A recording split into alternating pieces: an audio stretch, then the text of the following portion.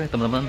Pro Audio kita cek sound untuk AT 910A 10 in 2100 watt Kita cek sound.